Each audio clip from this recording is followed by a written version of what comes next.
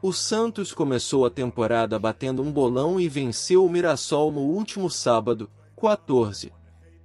O Peixe foi o único entre os quatro grandes de São Paulo que garantiu os três pontos na estreia do estadual.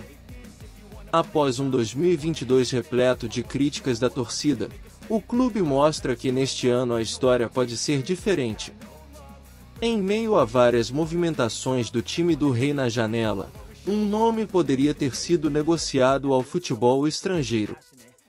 O atacante Lucas Braga recebeu ofertas do Al Ali, do Egito, e do Vevare Nagasaki, do Japão. O jogador, porém, preferiu permanecer na vila atrás de uma sequência com o Peixe. Lucas chegou a ser emprestado anteriormente para a Inter de Limeira e para o Cuiabá, o que aumentou a vontade de mostrar serviço no Santos. O atleta revelou que as propostas não desviaram seu foco e que ele comunicou à diretoria sobre a vontade de permanecer. Chegaram sim, duas propostas. Do Al Ali, do Egito, e do time do Carilli, Vevaren Nagasaki, do Japão, mas foram propostas que não agradaram financeiramente o time do Santos. Então fiquei bem tranquilo em relação a isso e não tinha o desejo de sair.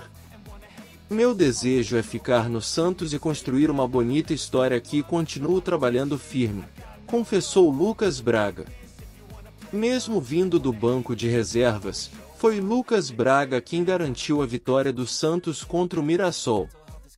Na luta por uma vaga no esquema tático do técnico Odair Helman, o atacante avançou na frente pela corrida em busca da titularidade.